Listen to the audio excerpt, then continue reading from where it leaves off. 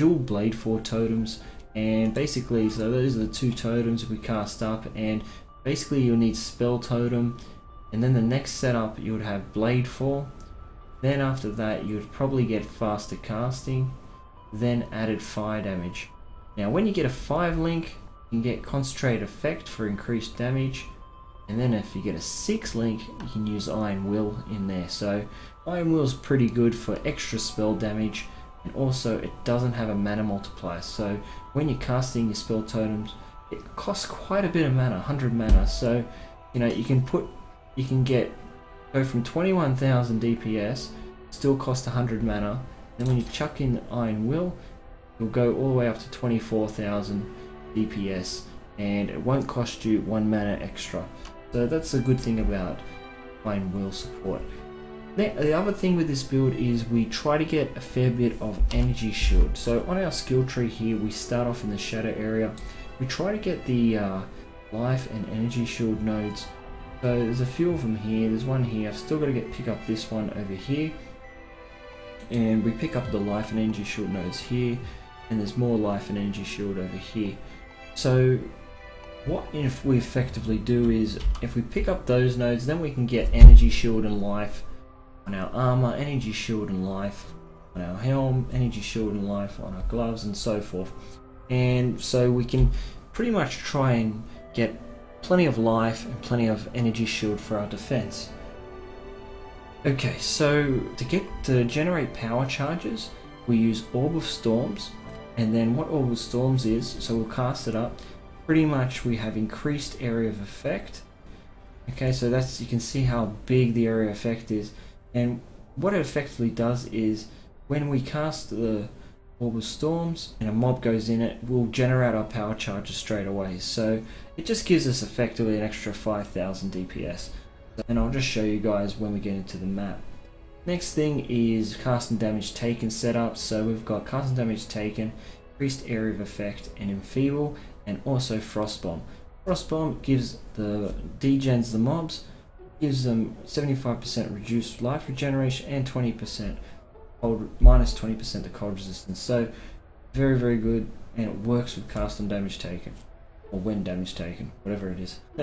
so cast when damage taken on the on the helm is linked with molten shell for extra defense and tempest shield, and this is also used to summon our flame golem, which will give us extra damage as well. So we'll go on a map now. I've just got a map with monster pack size this is a good example map uh, for this build. So we're going to this tier 8 map, the Tropical Island map, which is one of my favorite maps. And what we'll do is, we'll, I'll just share with you guys. So basically, when we get to the mobs, we cast our totems up. And as you can see, I'm already got all my max ch power charges are up. And all I had to do was cast, cast real quickly. So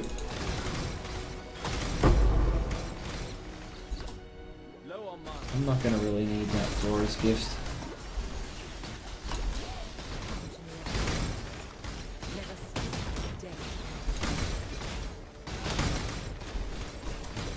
Okay, so we'll have a look now. So we currently got 29,000 DPS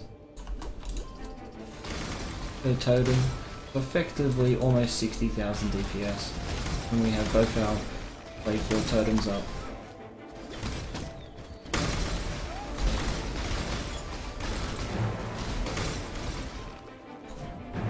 Clear everything out of the map.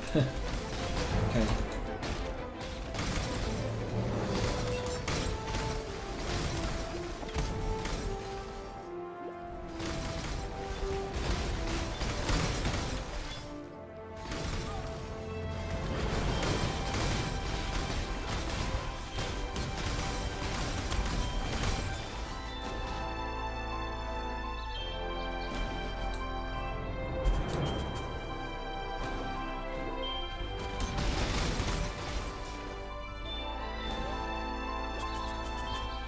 So effectively, once you get used to the build, you can just pretty much go through the map quite quickly.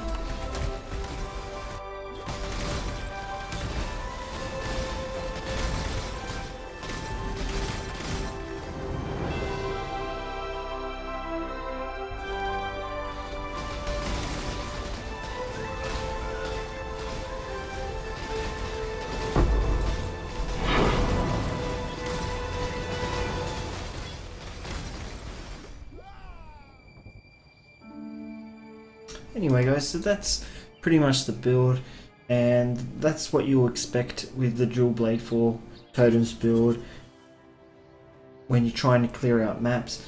Um, is kind of a general build, so it's a quite simple build to play. You just cast your totems down and they pretty much do the work for you. If you want to do pretty much a lazy totems build, this is a build that I would recommend. And I hope you guys enjoyed the video. Thanks for watching. See you later.